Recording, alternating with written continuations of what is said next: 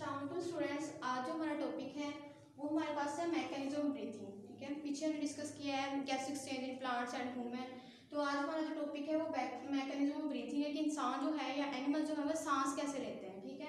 उस प्रोसेस को हम आज रीड आउट करेंगे।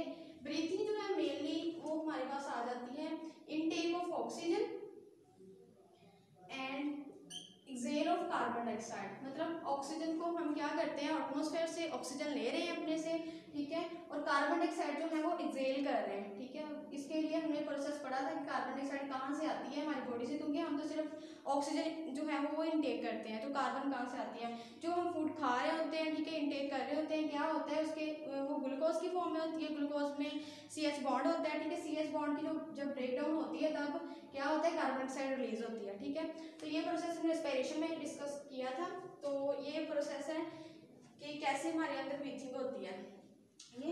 नोस्ट्रल्स है, ठीक है? ब्रीथिंग दो ब्रीथिंग के टू प्रोसेसेस हैं, ठीक है? दो तरीकों से ब्रीथिंग होती है। सबसे पहले नोस्ट्रल्स है और दूसरा हमारे पास है माउथ ठीक है? मुँह के ज़रिए और नोस्ट्रल्स के ज़रिए, या नोज़ के ज़रिए। सबसे पहले तो जो ऑक्सीजन होती है एटमोसफेयर में प्रेजेंट है, ठीक है? हमारे में। तो हम वहाँ से उसको इनटेक करते हैं मुँह के ज़रिए भी और नोस्ट्रल्स के ज़रिए भी, दोनों के ज़रिए, ठीक है?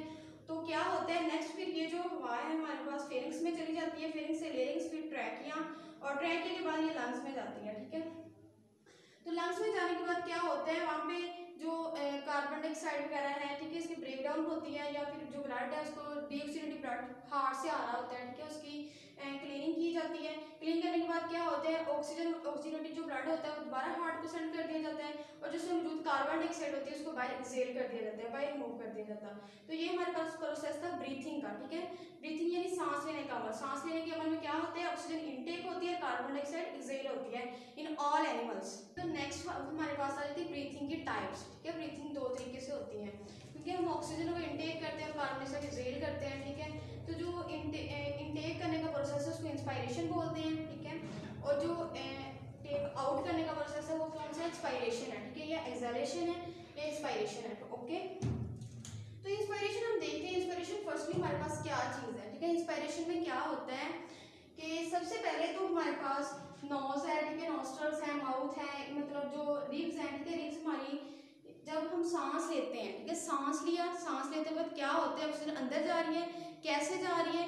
क्योंकि हमारे जो रिब्स हैं रिब्स के अंदर जो है मसल्स पाए जाते हैं, उन मसल्स क्या बोलते हैं? इंटरकोस्टल मसल्स ठीक है? तो ये इंटरकोस्टल मसल्स आ जाते हैं तो नीचे डायफ्राम होता है, ठीक है, जो कि गुंबद की शक्ल का होता है डोम लाइक होता है, ठीक है? क्या होता है? जब हम सांस लेते हैं, सांस लेने के दौरान जब हमारे ये जो रिब्स होती हैं, ये कॉन्ट्रैक्ट होती हैं, ठीक है? रिब के मसल जो है कॉन्ट्रैक्ट करते हैं, क्योंकि जब दो चीज़ें आपस में कॉन्ट्रैक्ट करेंगी, ठीक है तो जो नीचे वाली चीज़ है, वो उसका एरिया वसी हो जाएगा, ठीक है?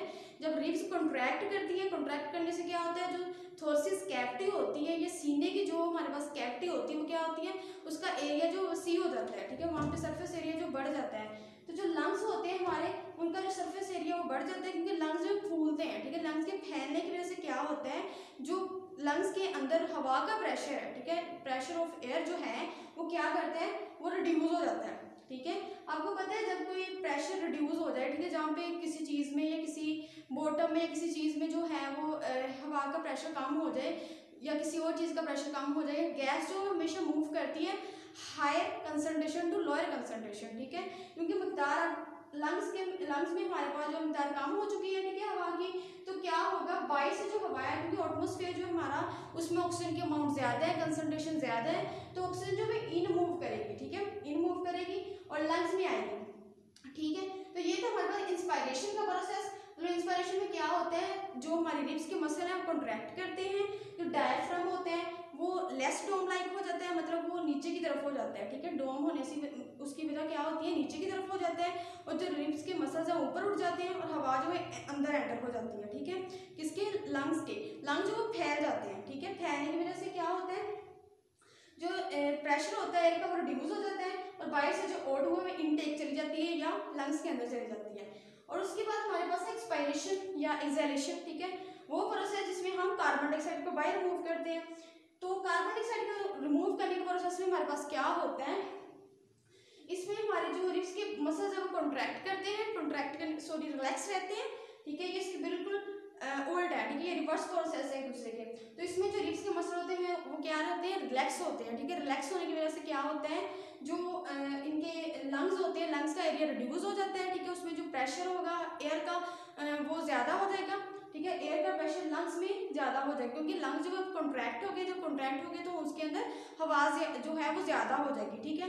और जो डायाफ्राम होगा वो ऊपर की तरफ़ मूवमेंट कर लेगा, ठीक है? ऊपर की तरफ़ हो जाएगा। ऊपर की तरफ़ मूवमेंट के बाद जो है, क्या होगा? जो हमारा थोड़ी सी स्कैविटी है, ठीक है, वो रिड्यूस होगी, और जो अंदर से हमारी कार्बन डाइऑक्साइड है, या हमारी जो गैस है, हमने बाइक सेल करनी है, वो जेरो ये तो नेक्स्ट हमारे पास है ब्रीथिंग रेट मतलब सांस लेने का जो अमल है, वो कितने परसेंट होता है, ठीक है?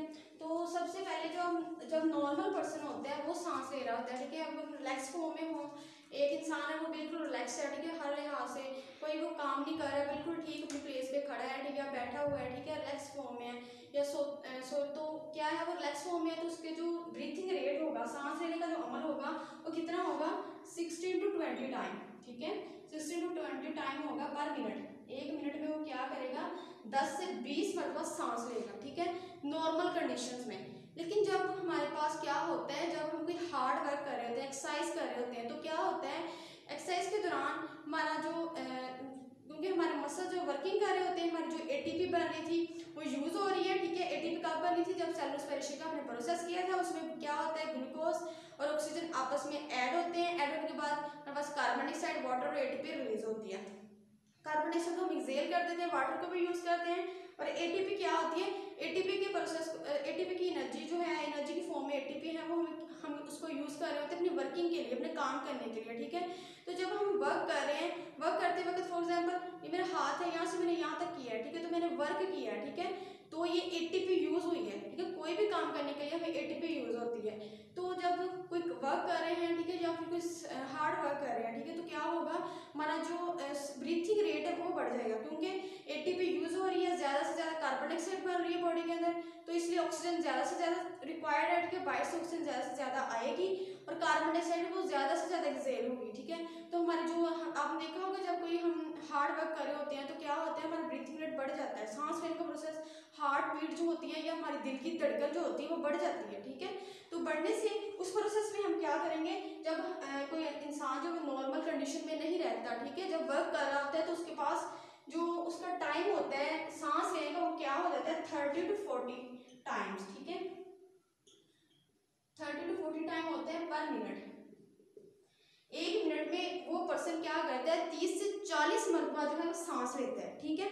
लेकिन नॉर्मल रेट में क्या होता है? सिक्सटी टू ट्वेंटी टाइम ठीक है? तो ये था हमारे पास ब्रीथिंग रेट ओके जी स्टूडेंट्स आज का हमारा ये लेक्चर था मैकेनिज्म ऑफ़ ब्रीथिंग ठीक है? ब्रीथिंग हमने देखा है ब्रीथिंग क्या होती है मेनली तो ब्रीथिंग हम क्या करते हैं ऑक्सीजन इनटेक करते हैं कार्बन डाइऑक्साइड एक्सेल करते हैं, ठीक है? उसके बाद हमने टू टाइप्स पढ़ी है ब्रीथिंग की किस तरह इनहेलेशन होती है, किस तरह एक्सलेशन होती है, ये किस किस तरह इंस्पायरेशन होती है और किस तरह एक्सपायरेशन होती है, ठीक है?